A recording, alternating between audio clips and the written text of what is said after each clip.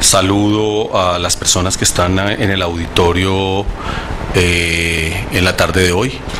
Sabemos que posiblemente no nos pudieron acompañar en otros momentos por eh, sus actividades propias de trabajo u otras razones. Eh, y, y, expreso este saludo porque una parte central de las jornadas tiene que ver con el ingrediente investigativo de las mismas unas jornadas basadas no solamente en intuiciones, unas jornadas basadas no solamente en el parecer subjetivo de los conferencistas. Han sido unas jornadas en donde nos han mostrado un panorama muy amplio, crítico, analizado con mucho rigor, con una aplicación metodológica muy seria. Cada uno de los ponentes ha mostrado que sus palabras tienen un fundamento epistemológico, que no se trata simplemente de una charla para divertirnos, sino que en medio inclusive de la diversión lingüística que muchas de ellas tuvieron, se trata de una propuesta bastante seria para darnos elementos de juicio y que podamos mirar este horizonte de la diversidad familiar, de la diversidad sexual, de la diversidad de género y de la diversidad jurídica sin tanto prejuicio, sin tanto temor, con una mente mucho más abierta y que seamos replicadores en el entorno, que seamos replicadores en el ecosistema familiar, social, de todo lo que aquí se planteó a través de un diálogo eh, aparentemente unilateral, pero hablo de diálogo porque el diálogo no se establece solo desde la palabra, el diálogo se establece también desde el interior. Y cuando alguien en esa relación dialógica hace planteamientos y mueve el interior del de la otra parte, en este caso del receptor del mensaje, y en ese interior se empiezan a, moverse burbujas de pensamiento, de inquietudes y de interrogantes, ha habido un verdadero diálogo. Entonces, a pesar de que las conferencias parecen ser planteadas desde el estrado para ustedes que están en el auditorio, eh, lo que se visualiza desde la perspectiva interior es un diálogo bastante rico y espero que sea muy provechoso. En segundo lugar, eh, quiero aprovechar la presencia de un miembro del semillero que no estuvo en la mañana por sus compromisos académicos en el pregrado, eh, a quien no pude en ese momento eh, hacerle el reconocimiento que quiero, porque fue el monitor de investigación, el estudiante que tuvo todo el peso encima de poder exigir la aplicación rigurosa, metodológica que los estudiantes les mostraron hoy en el informe, que fue aquí, digamos que quien me soportó quien, a pesar del dolor de cabeza que en muchos momentos le signifiqué, siempre estuvo, estuvo ahí llamando a sus compañeros, advirtiendo, eh, corrigiendo. Eh, hizo un trabajo no solamente maratónico, sino un trabajo muy importante y quisiera pedir para él un aplauso. Es David Betancourt Mainieri. Quiero que por favor se levante. Y,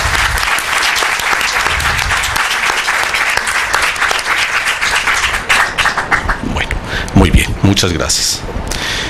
Esta pregunta va para la profesora Lina Marcela Estrada. Dice, de, de, cara a la legislación y omisiones actuales y al estado de cosas de la comunidad LGTBI, ¿qué cree que hará el legislador a junio de 2013? ¿Ejecutará el mandato de la Corte que le impuso la sentencia 057, 0577 del 2011? Bueno. De acuerdo a la propuesta que muy bien lo dice el doctor Carlos Julio, pues la verdad es una propuesta en mi exposición que va a partir pues como a las investigaciones que he realizado. Eh, yo creo que el legislador ha sido muy dependiente, ¿cierto? Bajo esos patrones de, de personalidad que les mostré. La verdad, yo creo que el legislador no va a hacer absolutamente nada. Eh, ustedes vieron en mi exposición eh, cómo el legislador en el tema de la familia lo que ha hecho es poner a otros a mirar el tema de la diversidad de familia de cara al tema del juez, de cara a otros escenarios, a organismos que él ha creado, pero él no ha eh, dado este, esta gran responsabilidad, como lo dije yo, en el tema de una constitución, una constitución que habla de un pluralismo, de una democracia y que el legislador no ha querido entonces eh, hacerlos efectivos. Yo creo que a partir de lo que les he planteado hoy, yo creo que esa dependencia existe y creo que a partir de esa mirada no creo que el legislador vaya a regularlo. Muy bien. Eh, una pregunta para la doctora Brigitte. Dice, ¿cómo se explica biológicamente el que animales adopten crías de otra especie? Em, digamos, sin, sin, sin, no quisiera entrar en, detalles que pueden parecer reduccionistas, seguramente tienen que ver con una gran cantidad de, elementos que se cruzan, se entrecruzan eh, desde lo hormonal hasta lo eh, afectivo. Eh, muchas, muchas cosas pueden pasar. Lo que sucede es que los ejemplos de adopción interespecífica normalmente se ven en condiciones de cautiverio, en los zoológicos, eh, se ven entre especies semidomesticadas y el proceso de domesticación o de digamos de construcción de lenguajes culturales entre animales es mucho menos comprendido incluso que la construcción de eh, o la investigación en culturas humano-animales. Eh, decía en la pausa cómo mm, nosotros mantenemos unas relaciones francamente zoofílicas en el sentido de filia, de, afecto, de biofilia, pues con nuestras mascotas, eh, con las que conversamos, con las que convivimos como miembros de familia. Realmente por eso presento a mi gato Galileo como parte de mi familia, obviamente. Eh, porque desarrollamos lenguajes específicos y ellos y ellas desarrollan lenguajes específicos con nosotros. De manera que hay una, complejidad, eh, digamos que sería más cercana a esa biofilia, a ese, a, ese apego de seres vivos que en distintas circunstancias se manifiesta de una u otra manera. Eh, otra pregunta para la doctora Brigitte. Usted nos habló de roles de género en las especies animales. ¿Cómo ha sido su experiencia vital en este sentido con su familia y la sociedad?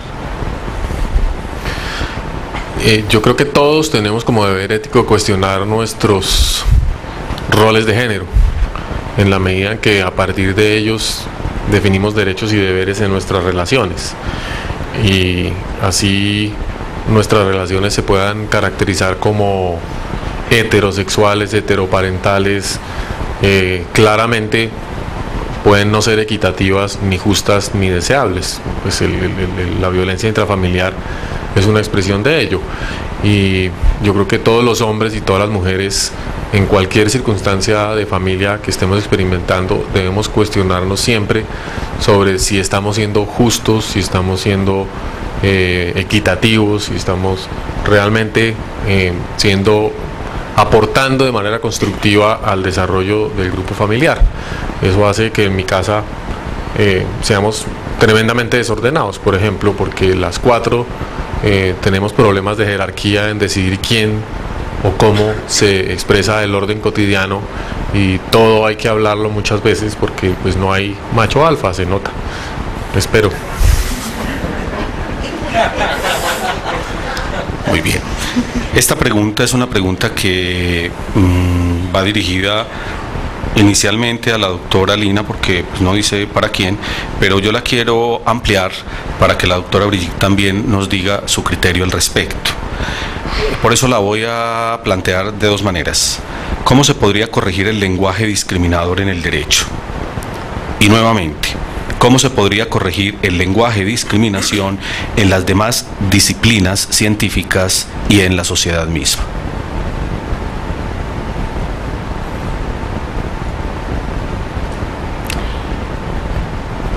Yo creo que el, lenguaje discriminador parte no solamente de lo que mostré desde el, legislador, sino desde la vida cotidiana, ¿cierto? Desde nosotros mismos, cómo llamamos las cosas, ¿cierto? desde nosotros mismos, cómo tratamos el otro. Yo desde la Universidad de Antioquia eh, he realizado, por ejemplo, trabajos frente al bullying escolar homofóbico. Y desde allí, desde la realidad de los niños, hay un lenguaje que inclusive es hablado por sus padres y por sus profesores. Entonces yo digo, desde el escenario más, más corto, el escenario eh, que es nuestra propia realidad, yo creo que desde allí se puede construir un gran lenguaje incluyente y un gran lenguaje que involucre el tema de la dignidad humana del otro, ¿cierto?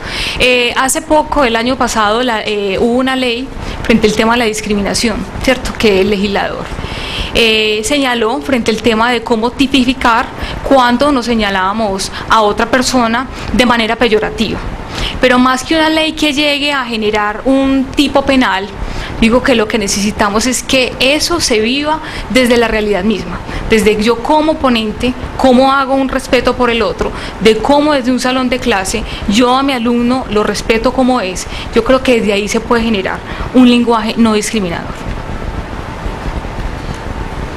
Yo, yo añadiría simplemente que el lenguaje, obviamente en el derecho, es un lenguaje eh, escrito, es un lenguaje, es una construcción gramatical mm, compleja que todo el tiempo está evolucionando, eh, pero que tenemos todas las posibilidades de apelar a, digamos, a otros mecanismos para poner en evidencia nuestras inconsistencias lingüísticas, nuestras limitaciones lingüísticas en términos de expresión artística, del lenguaje no verbal, eh, de otras opciones, digamos, también que pueden servir como válvulas de seguridad a, a confrontaciones que podemos hacer en la corte con tranquilidad, que podemos hacer en los estrados con tranquilidad, pero que no todo el mundo está dispuesto a hacer ni a expresar eh, fuera de la corte o en otras partes. Entonces, eh, la construcción de lenguajes de respeto, de formas de expresión distintas, de reconocimientos alternativos, tiene que ser promovida desde la escuela, tiene que ser promovida desde los medios para que realmente se entienda como una complejidad que va más allá de las expresiones, digamos, eh, escritas o verbales. bueno, eh, dado que las preguntas pues eh, brillaron, digamos, no por su número, por su cantidad. Quedaron muy tranquilos. Eh, quedaron muy tranquilos, yo siempre, sí, esa es la, esa es la, la interpretación, ¿sí? Eh, estamos acostumbrados por nuestra cultura y sobre todo por esa cultura judeocristiana del mea culpa, mea culpa, a trasladarla de alguna manera en los otros ámbitos y entonces cuando estamos frente al vaso eh, que no está lleno completo, casi siempre lo vemos medio vacío en el faltante, pero no lo vemos medio lleno. Casi siempre estamos pensando es falta para llenarse, pero no pensamos, ve, se llenó hasta la mitad. Está bien. Entonces, como la idea es verlo medio lleno, pues hay que pensar, y se los dije hoy en la mañana, que cuando no hay preguntas es porque todo quedó muy claro y habría que felicitar pues a los ponentes porque ellos son quienes producen esas claridades para que los podamos entender.